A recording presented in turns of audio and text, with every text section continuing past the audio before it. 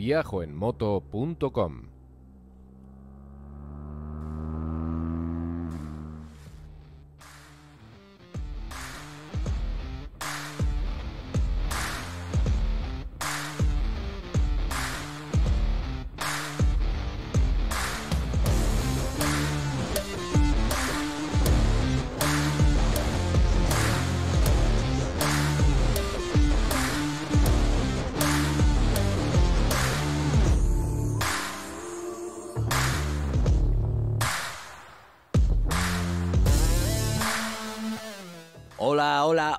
hola, a todo el mundo, bienvenidos a Viajo en Moto, un programa en el que se habla de viajes en moto.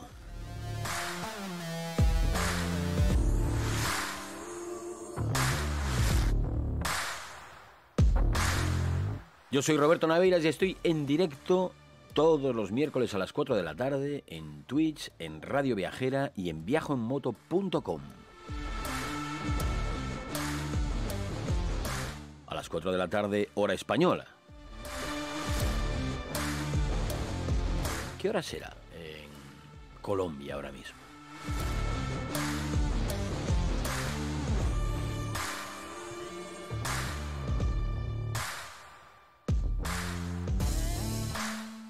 Estoy en directo en Twitch y estoy pensando en hacer los directos en YouTube.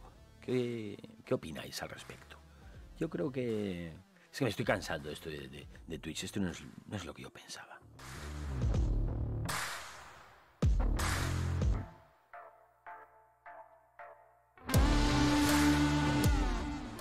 Gracias Rebel Next por tu suscripción a nuestro canal de Twitch.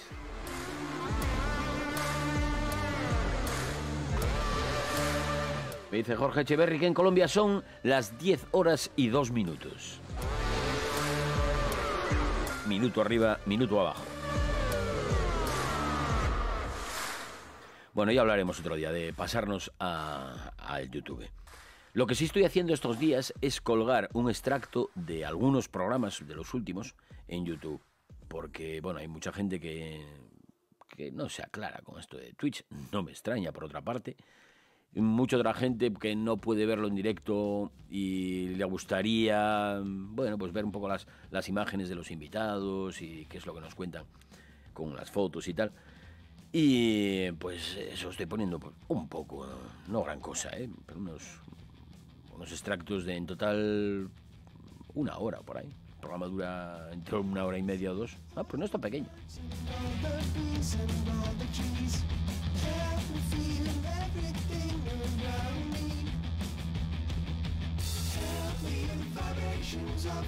Alex Lupo, muchas gracias por haberte suscrito al canal de Viajo en Moto en Twitch con tu cuenta Prime. Ya sabéis que si tenéis una cuenta de Amazon Prime es gratis suscribirse al canal de Viajo en Moto. Tenéis que renovarlo cada mes. Pero bueno, es una forma de cómoda, entre comillas, de apoyar al programa.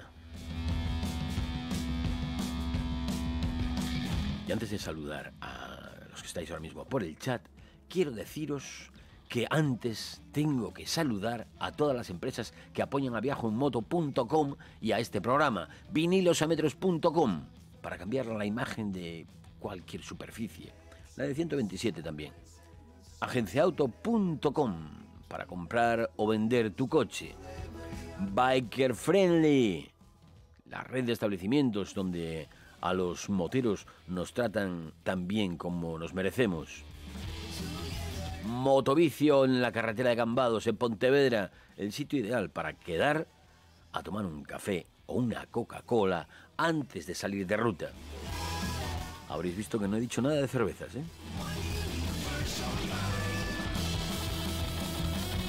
Y Casa Pipo en Tuña, en Asturias. Tuña, el lugar de nacimiento del general Riego. Y Tuña es un sitio de, de casonas y palacios, un valle abierto, hermosísimo. Me recuerda un poco a, a los valles mm, de la zona de Innsbruck, o por ahí es un valle así abierto, salvando las distancias, claro. Casa Pipo, en Tuña.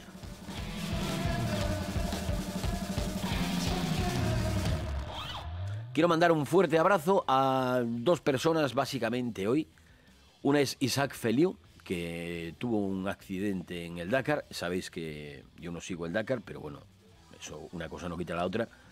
Me entristece que Isaac Feliu y su equipo hayan tenido este revés, sobre todo por Isaac, que está en el hospital.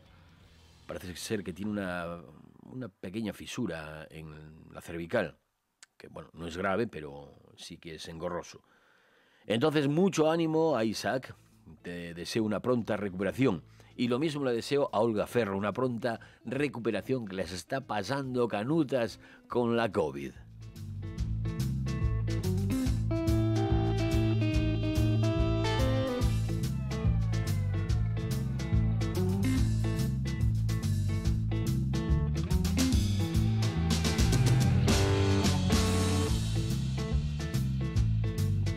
Y ahora sí, os voy a, voy a ver quién está por aquí por el chat. Está Jarnal, Mario Casas, Teteor, Tetelorta, Nocenator. ¿Pero qué nombres son estos que tenéis? ¿Qué nicks son estos? Me niego a seguir saludando. ¿Por qué no os ponéis? Pues mira, Héctor. Bueno, Héctor Freeman. ahí jugamos un poco, ¿eh? Héctor Freeman, como el doble sentido. Alex Lupo. Bueno, son nombres sencillos. Gerardopi. Bueno, incluso Tetelorta es fácil. Gonzalo Castro. Adri va en moto. Jorge Echeverry. Que nos dio la hora desde Colombia. Señora Costa. Isaac Ramírez, Germán Bouso, Rebel Next Level, Tracatrum, P Poncho.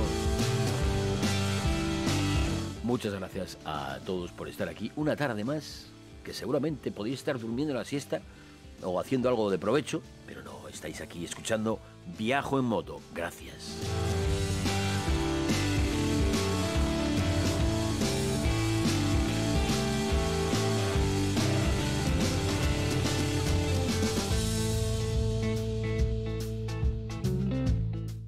José Luis Oviaño aquí en el chat de Telegram que él tampoco fuma. Es que sí, por fin soy un exfumador. Desde hoy a las 12 de la mañana que he dejado oficialmente de fumar. ¿Qué os parece? Ahora estoy otra vez con el vapeo. Dándolo todo aquí. Por vosotros, para tener una buena voz.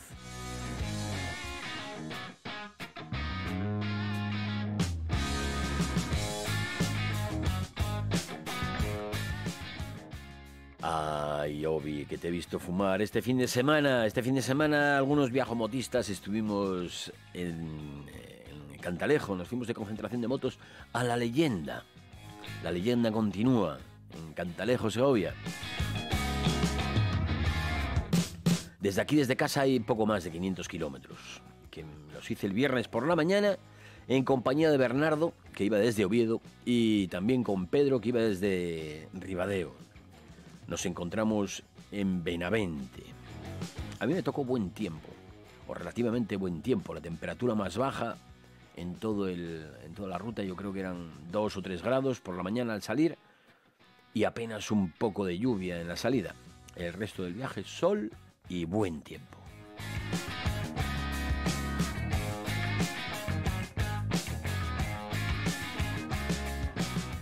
Y a la vuelta, aún mejor porque hasta que empecé a subir Pedrafita 2 de febrero, que empezó a llover, me acompañó el buen tiempo, temperatura entre 9 y 15 grados. Yo decía, pero qué locura es esta, volviendo de los pingüinos, volviendo de la leyenda, estar a 15 grados, con las manoplas, los guantes calefactables y pasando calor. Eso sí, luego empezó a llover en, a subir Pedrafita y las última hora y media, las últimas dos horas, o por ahí, ya fueron bajo agua intensa. Lo bueno es que aquí en el norte estamos acostumbrados a rodar en bajo agua intensa o bajo cualquier modalidad. Bajo chirimiri, orvallo, barruzo o como quiera que se llame. Es esa la garúa que dicen en, en Argentina. Esa llovizna fina. Bueno, pues eso es el, el orvallo o el chirimiri.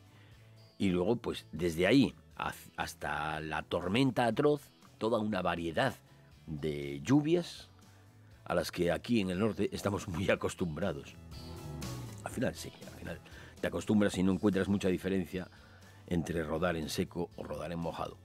Bueno, esto quizás sea una exageración porque claro que hay diferencia. Hombre, me refiero más bien a que dejas de preocuparte por si va a llover o si va a hacer frío o si la carretera va a estar mojada. Si en invierno, pues lo más normal es que haga frío, que llueva y que la carretera esté mojada. Te lo tomas con filosofía y vas más despacio.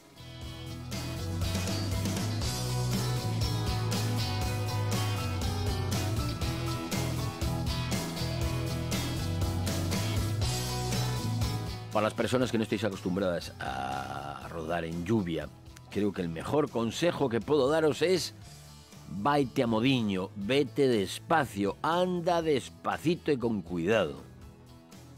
Rueda con más prudencia, con muchísima más prudencia de la habitual y eso, sobre todo vete más despacio. Aumenta la distancia de seguridad, bueno, todas esas cosas. Pero el consejo principal es vete más despacio. El paso por curva, pues también aprietas, aprietas un poco el culo y así lo tomas más con más tino.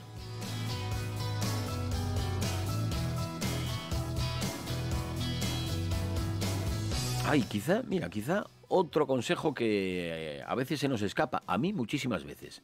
No dejes ni un solo hueco libre entre tu ropa por donde se pueda colar la lluvia, porque lo que son cuatro gotas se pueden convertir en muchísimas, muchísimas más. Y como dejes un hueco por la parte del cuello, eh, aquí por, por la parte baja de la espalda, no sé, por cualquier sitio que dejes un hueco, por ahí se te va a colar la lluvia. Y rodar mojado y con frío, eso sí que es incómodo.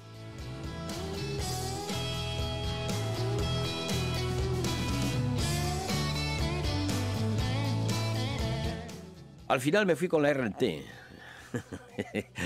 me fui con la RT porque ya lo, tenía previsto. Me puse una foto ahí en, Facebook o en Instagram diciendo, oh, tengo tres para escoger, no sé cuál escoger. Sabía de sobra con qué moto iba a ir.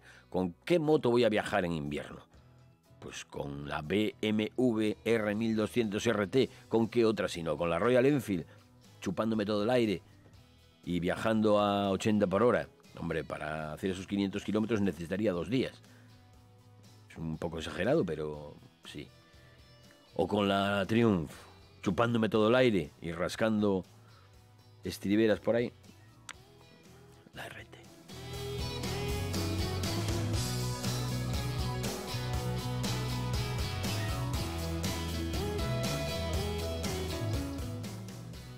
Sí, porque no tenía ganas de pasar frío. Ya os dije mil veces aquí en el programa que yo le tengo mucho miedo al frío. Creo que le tengo más miedo a la posibilidad de pasar frío que al frío en sí mismo. Es, eh, es como, un, como un pánico atávico. Ay, que voy a pasar frío, que voy a pasar frío. Y a veces ese miedo me impide salir en moto, ¿eh? de verdad. No muchas, pero sí, a veces digo, nada, hace mucho frío. Que me lleven en coche. Que me lleven en coche porque yo no tengo, solo tengo motos. Entonces tengo que permitir que lleven mi cuerpo porque mi mente sigue con la moto. Pues hablando del frío, por fin los, los chafferet, los chafferet o los warm, o ¿cómo se llama? Sí, los, bueno, chauferetes, empezaron a funcionar bien. Son, son una especie de apósitos, unas plantillas que se ponen en los pies o en las manos, es como una bolsita, y que en contacto con el aire generan calor. Reciben otros nombres también, eh, warmers, warmers, que no me salía. Warmers, o calientamanos, o calientapiés, cosas así por el estilo. Vienen a ser como un parche de calor. Y ahí dentro lo que tienen, eh, dentro de esa, de esa bolsita, suelen llevar carbón activo, limaduras de hierro, serrín, cloruro de sodio y agua. Mira, lo podéis hacer en casa si queréis.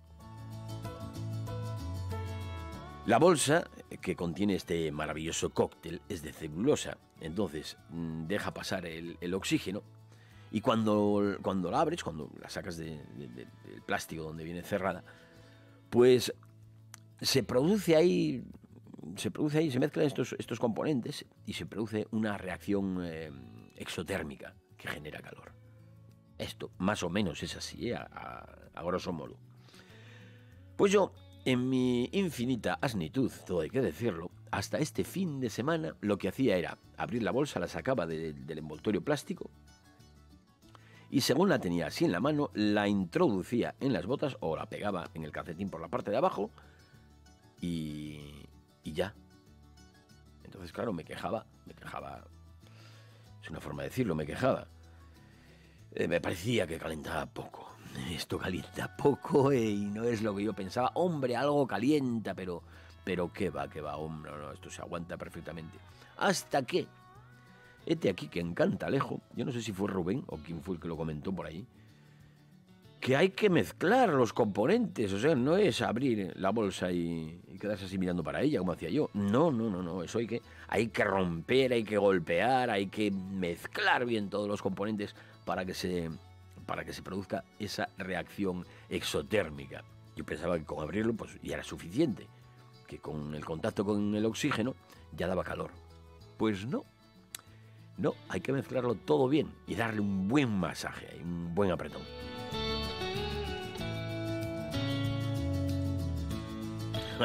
ay amigo, ay amigo, vaya diferencia.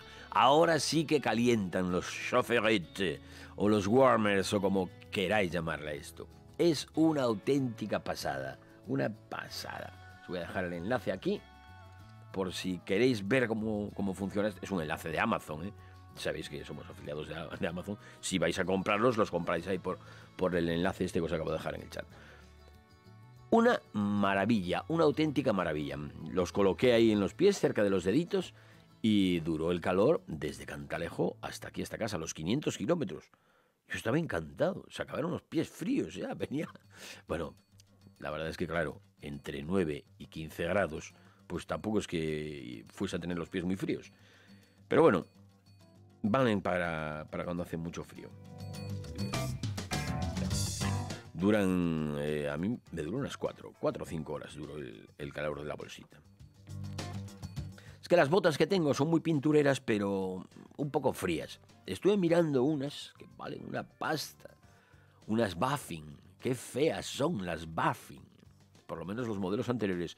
Hay unas muy bonitas que se llaman Buffing Monster que me encantan. Me encantan. Y bueno, vienen con siete capas de no sé qué. Vienen con espuma de goma eva. Vienen con... No sé, una cantidad de cosas que debes tener los pies ahí, si además le pones una almohadilla de estas de, de, calentar los pies, entonces ya, la bomba. Pero valen una pasta esas botas. Y en España creo que no, que no las despachan así en cualquier tienda. Me parece que hay que ir a Canadá, que es donde las fabrican, o si no a, a Alemania, que por ahí las importan. En España creo que vi una tienda nada más donde las tienen.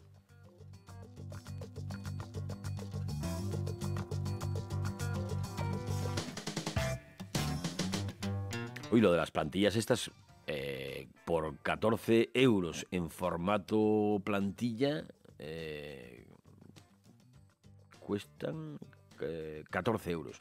14 euros, 5 plantillas. 5 plantillas que son, en realidad son 10. Porque al tener, la mayoría de las personas, al tener dos pies, necesitamos dos plantillas. Entonces en cada bolsita vienen dos plantillas, 10 eh, unidades. Me explico bien, ¿no? Dice Rafa74 que vamos a Canadá a buscarlas. Sí, hombre, vamos a Canadá a buscarlas. Antes o después de ir eh, a Estados Unidos, al Museo Barber. También he visto por Cantalejo cosas como calcetines calefactables, calcetines, calcetines que llevan eh, una batería incluida y que según el fabricante dura unas 12 horas, a partir de 50 eurodólares. Me, me gusta a mí esto de los calcetines calefactables, ¿eh? y si además dura 12 horas, me da para ir y volver, por ejemplo, a, a Cantalejo. más chismes para cargar, más aparatos con baterías, pero bueno. Me acuerdo una vez, hace años ya, que le compré a un fulano unas pastillas, unas plantillas calefactables para enchufar a la toma de corriente de la moto. Eran artesanales y tenían muy, muy buena pinta. Bueno, pues cuando las enchufé a la moto, me las puse los cables por fuera, enchufé a, la moto y salí a dar una vuelta. Y como no tenían regulador de potencia, casi me abrazo los pies. Eh, quemaban, que, pero quemaban muchísimo, quemaban Me bajé de la moto, desenchufé y me quedé saltando así como un conejillo. Era la segunda vez que saltaba como un conejo mm, porque se me quemaban los pies. Lo que pasa es que la otra vez había sido un incendio forestal que si me metí entre, entre lo caliente. Si vais un día a un incendio forestal, no os metáis a lo caliente. Eh, si camináis por lo negro, en este caso lo negro es lo quemado, no es el asfalto, no os metáis a lo caliente. Allí suele quemar. Pues con las, las plantillas estas me, pasa, me pasó casi lo mismo, que me quemaba la planta de los pies, me tuve que quitarme las botas rápidamente. Un desastre.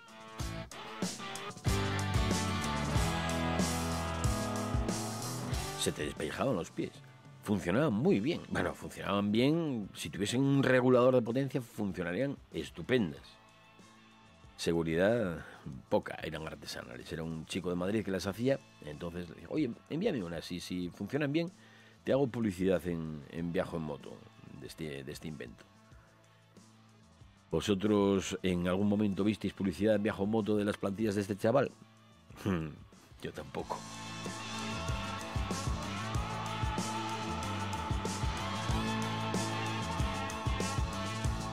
Bueno, en Cantalejo todo estupendo, todo maravilloso, como diría Josín, maravilloso.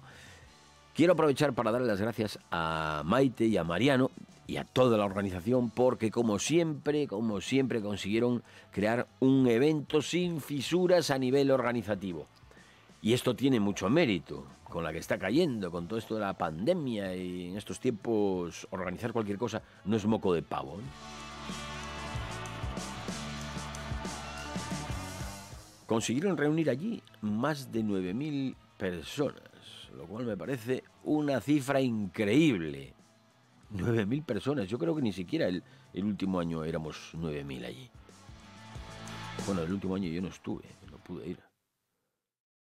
Pero 9.000 personas es una barbaridad. Se ve que había muchísimas, muchísimas ganas de, salir ya de concentración y, de andar por ahí de, de jarana. Estuvo muy bien. Dicen no sé quién comentaba.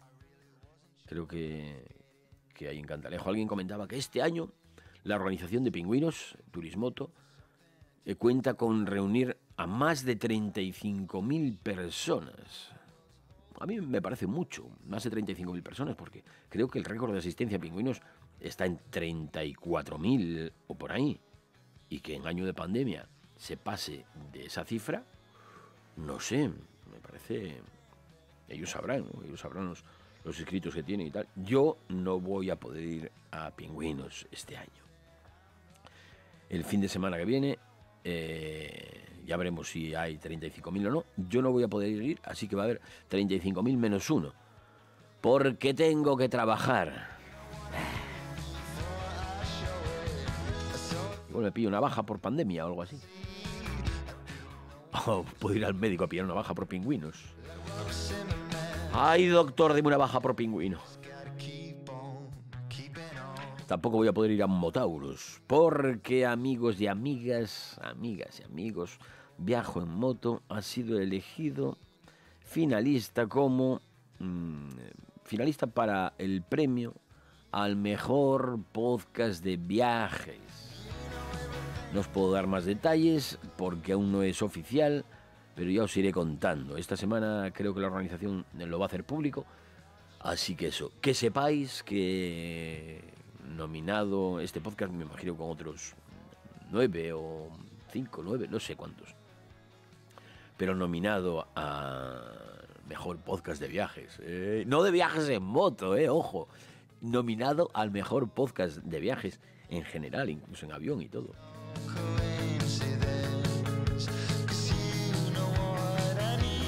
Y siendo así, pues habrá que ir al, evento que organizan, a la entrega de premios. Habrá que acercarse a Madrid. Coincide con Motauros. Hombre, como esto es de viernes, qué sé yo, igual si no hace frío, puedo ir en moto a Madrid el viernes y luego el sábado pasar por Motauro. Esto es pensar en voz alta. Hablar por no estar callado. Pero bueno, si voy a Madrid y, y no todos los madrileños que escucháis viajo en moto vais a Motauros, pues igual quedamos para tomar algo el viernes. Eh, fumar no, ¿eh? Ahora no puedo tomar alcohol ni nada porque si no me dan ganas de fumar. Entonces, no sé, un zumo de pera.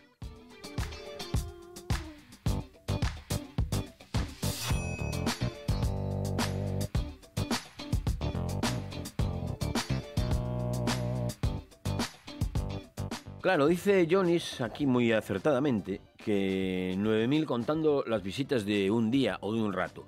En efecto, pero eh, creo que es una, una práctica habitual porque eh, pingüinos también venden entradas para un día. Y para gente que no tiene motos, sobre todo, bueno, papá y mamá que van con el crío para que vea motos y que, que vea allí. A mí esto antes me, me, bueno, me ofendía un poco que entrasen allí a, ver cómo vivíamos los moteros el fin de semana, como, si fuese, como si aquello fuese un circo o un zoo. a veces es como un zoo porque hay mucho animal. Antes, como os digo, me molestaba un pelín. Ahora me da exactamente igual. Me da exactamente igual. Que, hay entradas para que vengan a, ver las motos y a ver, y a ver los puestos, los están, a gastarse un duro allí y, y a ver los moteros. Bueno, vale. Pues pues bien, encantado. No sé, no sé ni siquiera por qué me mosqueaba antes con eso. Supongo porque, como os decía el otro día, uno no es siempre el mismo. Con los años vas cambiando. Y lo que de joven te enardece el alma, ¿eh? te hierve la sangre, no, según va pasando los años, pues, bueno, todo me resbala.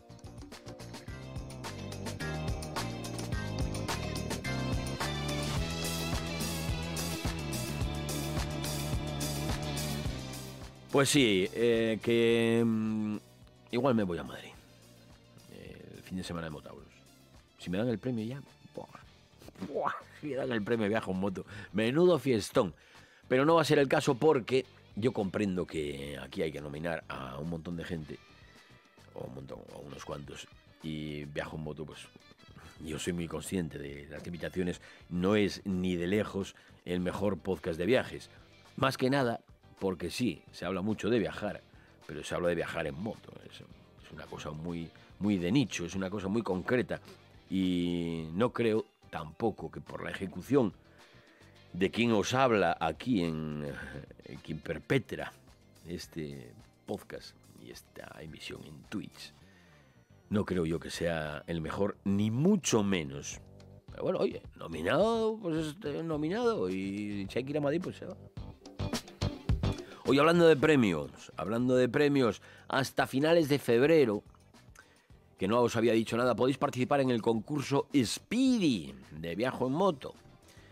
Sorteamos un vamos a sortear un pantalón Speedy Pathfinder Cargo, valorado en casi 200 euros, concretamente en 199.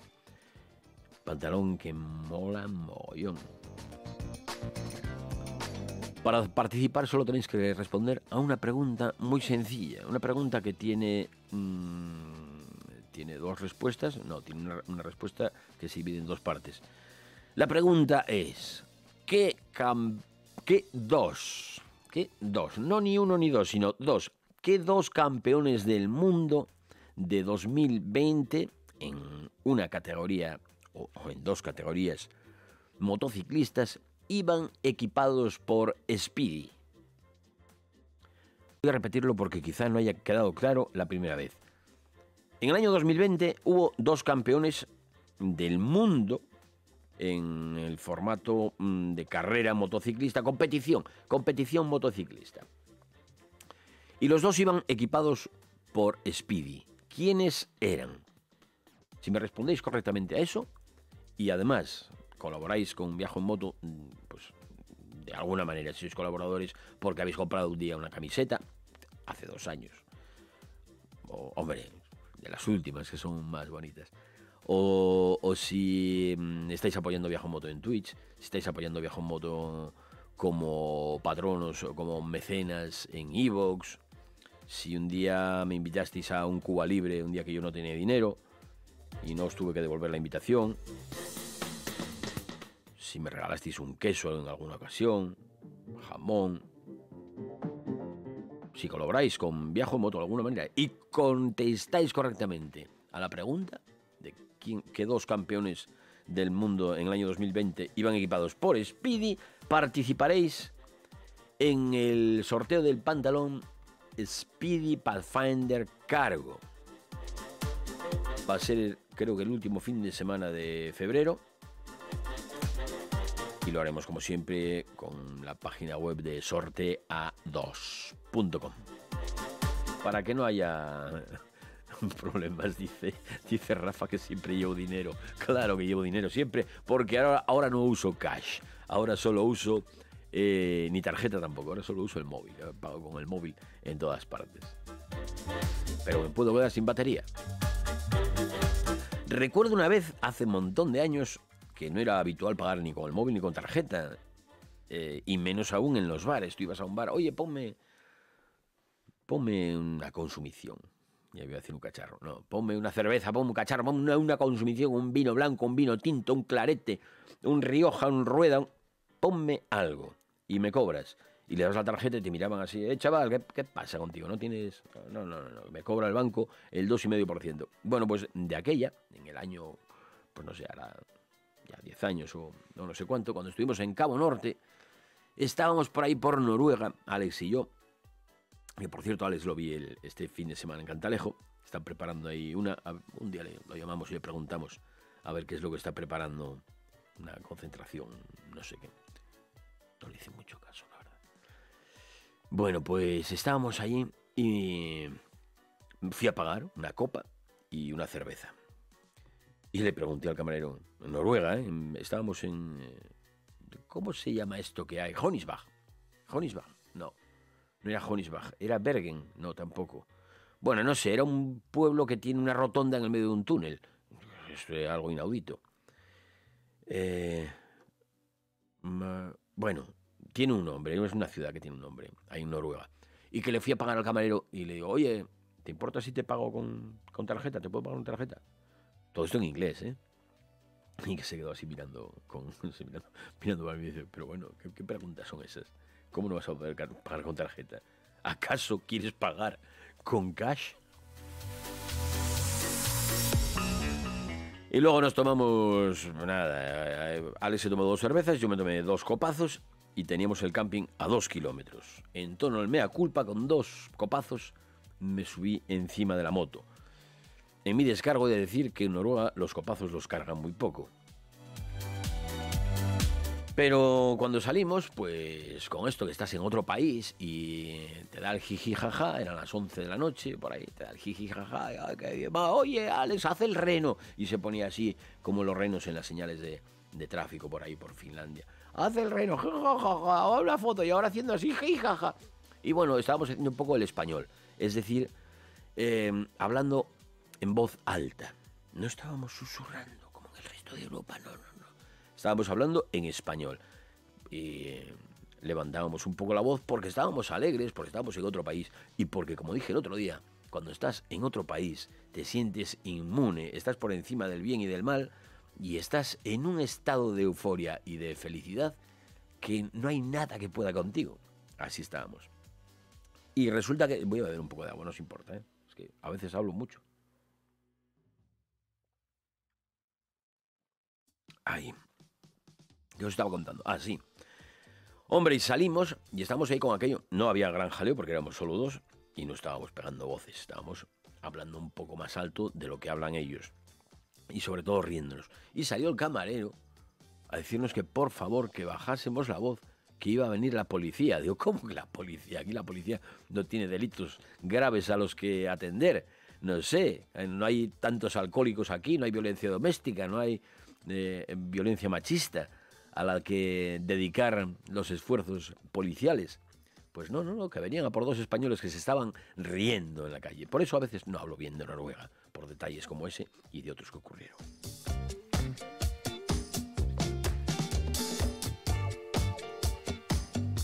Bueno, no os cuento ya más de, Noruega. Que eso, que os decía lo del concurso, que la pregunta para el concurso la, formuló Juan Noguerol hace mm, un par de semanas. Juan Noguerol, ¿os acordáis de él? Que Juan Noguerol, además de ser campeón del mundo de mototurismo en el año 2020, es embajador de, la marca Speedy. Podría daros alguna pista, ¿eh? pero no voy a daros ninguna. Yo creo que es bien sencillo y no os voy a dar ninguna pista. Los que mm, sepáis la respuesta, pues rellenáis el formulario que hay en viajoenmoto.com. No, espera, que va a haber en viajoenmoto.com. Está el, formulario está en, en Telegram también. Si supiera la dirección de memoria os la decía, pero no la sé. Bueno, lo voy a poner, prometo poner esta noche el formulario en la página principal para que nadie se quede sin participar. Y el formulario con la respuesta es a enviar y me llega a mí todo. Y si no, me enviáis a mí un correo electrónico, ya sabéis, a info y ahí podéis participar. Ya no me acuerdo cuál era la pregunta.